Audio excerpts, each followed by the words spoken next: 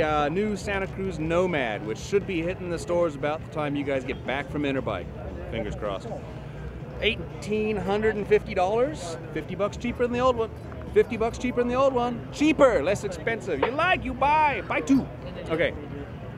Differences between the old Nomad and the new Nomad. The uh, the old Nomad is probably one of our best selling bikes ever. Between that and the Blur LT, they make up bulk of Santa Cruz's sales. Incredibly popular trail bikes that are really versatile, really good pedaling, and able to handle a wide variety of rider needs. So, in an effort to make the Nomad more all-round capable, we gave it a lot of the same treatment that we gave the Blur LT earlier in the year. This is the second bike to be the recipient of our new generation VPP design.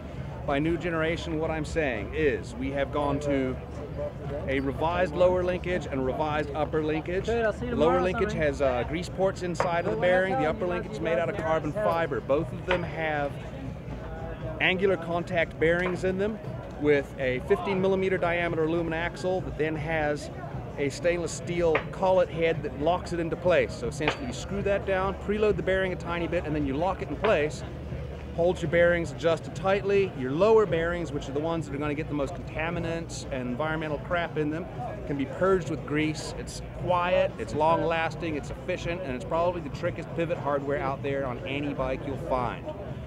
The uh, rest of the bike, we've gone to a hydroform top tube as opposed to the old clamshell split welded top tube that we had. We upgraded to a 1.5 inch head tube, which we actually incorporated on the Nomad about a year and a half ago putting that across the board so you can run just about any fork you want in there. It's designed around 160 millimeter fork, has 160 millimeters of rear travel.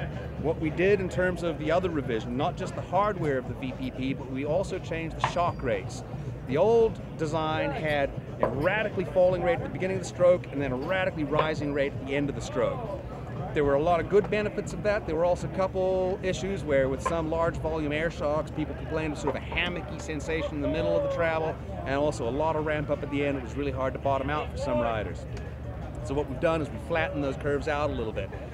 Less dropping rate at the beginning of the travel, less ramp up at the end of the travel. Makes it more air shock friendly across the board, but it also makes the bike a little bit better at pedaling. The old one was a good pedaler, the new one's a phenomenal pedaler, great climber, and it's a long, linear, plush suspension. Six inches feels like a lot more most of the time and still pedals like a dream. The uh, overall frame weight of the bike has also been reduced. It's now just about as light as the Blur LT, which might create some confusion given that they're same sort of weight, same sort of price.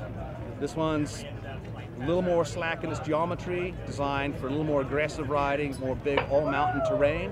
160 millimeters rear, as I said, 160 millimeter front, the rough fork we put. You can run shorter, you can also run longer on that. The sweet spot's right around there. The uh, Santa Cruz Blur has been the best selling bike in Santa Cruz's lineup. We acquired the VPP patents, virtual pivot point suspension in 2000, and then we came out with the first V10s and first Blurs soon after that. Blur immediately became one of our most popular bikes. It was a really well loved trail bike across the board. It had a little over four inches travel and was just this incredibly versatile, easy riding, sweet handling machine that had a lot of suspension potential and a pretty lightweight package.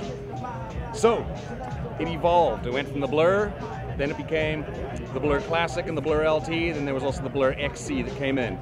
The beginning of 2008, we did a revision of the Blur LT that had started effectively two years ago with a whiteboard where we asked a lot of questions like, what would be your ideal trail bike? What do you want to do? What do you love about the Blur LT? What do you want to make better? The result is the bike you see before you right here. Um, changes are many. This is the first bike that we did a sweeping revision of our VPP suspension.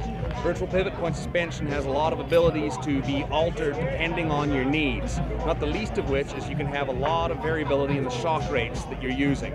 Not axle path stuff, but actually the ratios at which you're compressing the shock, which is going to determine the characteristics of how your rear suspension works. What we had with the old VPP design was a bike that started out with a little bit of a stiff spot at the beginning, rapidly falling rate into a nice sort of plateau, and then a rising rate at the end to resist bottom out. Worked really well in some instances, but there were a few issues with it, not the least of which was some people felt that it kind of hammocked in the middle of the stroke a little bit. It was really active in the middle of the stroke, but left a little bit to be desired. Either they weren't getting at the bottom out, or it was a little too stiff at the very top of the stroke. So what we did as a revision of the VPP, the, VPP, was we flattened the shock rate. not completely flat, still falling rate to a rising rate transition, which is something that you can't really do with other suspension systems. And it still creates a lot of desirable characteristics, but we wanted to make it a little more linear. The result of this is it's plusher pedaling, or plusher suspension across the board, while still maintaining a lot of pedaling efficiency. It's a snappy pedaling bike. You don't have to use any shock platform on this at all. If you do, fine, that's personal preference thing, but this is a very efficient pedaling machine that still packs 140 millimeters of travel into it and sucks up bumps like a king. The other aspect of this revision, we went to forged aluminum lower link with grease ports in it so that you can service it on a regular basis and a carbon fiber upper link. Same thing with the lower bearings and the lower of the upper bearings all are angular contact bearings held in place by a big bore 15 millimeter axle. The whole thing clamps down through the swing arm in this case, on the bottom end of it, it goes from the left side of the swing arm towards the drive side. You can remove and service everything from the non-drive side. You don't have to take your cranks off to service your bearings if you need to service your bearings. Shouldn't have to, because you've got nice little grease ports, and you can adjust the preload, and they're sweet. So, you adjust the preload, tighten it down, things go into the frame, and then you put these little collars in here that, that it's an angular collet that sucks into the actual bolt that goes into the frame itself, which locks that bolt in place, stops it from rotating, but also locks it into the frame. You've got short, stiff little links with large diameter axles that are held in place on the frame on one side and on the other side by these locking heads. It creates an environment where you really don't have any room for flex or play or a lot of the other lateral and torsional boogeymen that kind of mess up the way a bike handles.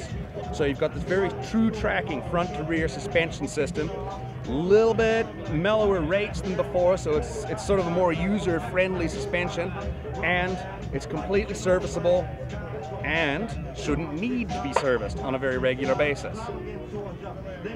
While we were also redesigning the bike, we lowered standover height by over an inch and uh, kept a lot of the other sweet handling characteristics the old LT and their Santa Cruz Heckler are known for. It's a 69 degree head angle based around a 140 millimeter fork, which is right in the ballpark of things. It's like a five and a half inch travel fork, which is sort of where this thing works nice. You can beef up to about a 160 mil, strong enough to handle it, it'll slacken the bike out, make it more downhill friendly, or you can shorten it down to about 120 mil fork and the thing will be a snappy, razor sharp, almost cross-country-ish bike. Frame with shock weighs about 6.4 pounds, not the lightest kit on the block, but still light enough that you can easily build up bikes in 26 pound range without going too crazy on the wallet.